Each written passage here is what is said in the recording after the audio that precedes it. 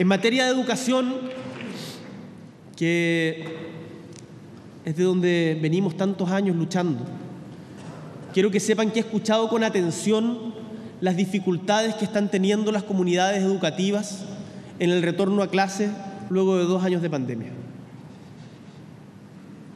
Tenemos la tremenda responsabilidad de entregarle a niños y niñas, adolescentes y jóvenes las mejores condiciones para educarse. Ese es su derecho.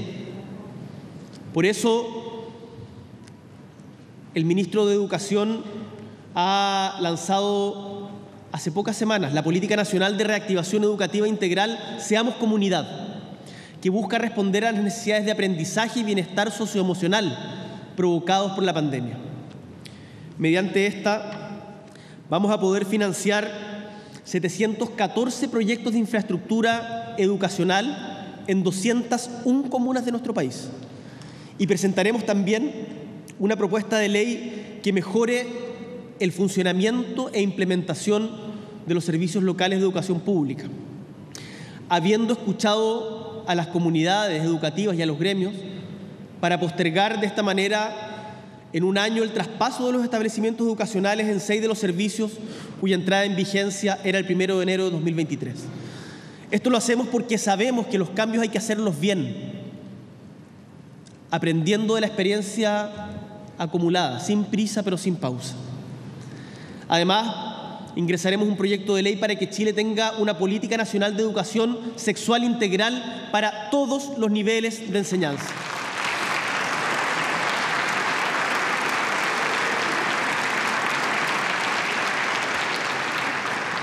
Sabemos que será polémico, sabemos que tendremos una discusión importante, la tuvo, me acuerdo, el presidente Frey con las bocas en su momento, pero tenemos la convicción de que es necesario, no podemos seguir escondiendo el tema.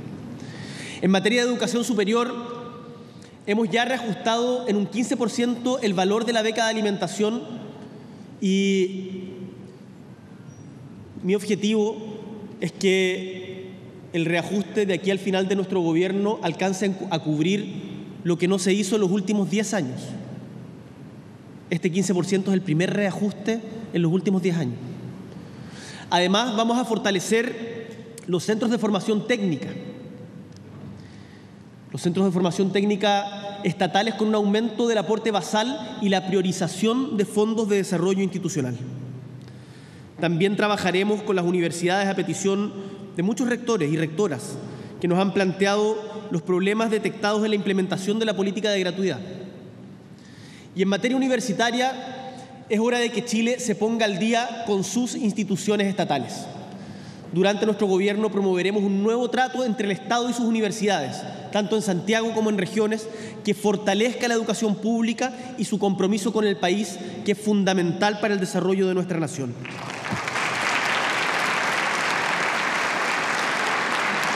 Sabemos también,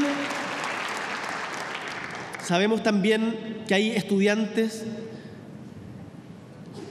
que egresan, y no solo ellos, con sus familias, arrastrando a sus familias, cargando una mochila muy pesada, la deuda por estudiar. Por eso presentaremos el próximo año 2023, una vez aprobada la reforma tributaria, un plan de condonación de la deuda educativa de manera gradual y justa. Y en este mismo proyecto de ley crearemos un nuevo sistema de financiamiento para la educación superior, para terminar con el CAE, el Fondo Solidario y los créditos Corfo. No más deudas por estudiar.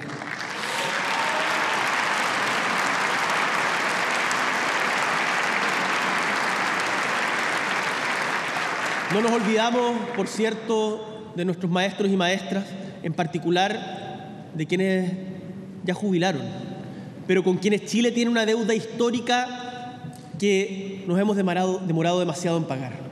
Por eso, a fines de este año, presentaré a este Congreso Nacional un proyecto de reparación de la deuda histórica y pondremos fin también a la doble evaluación docente.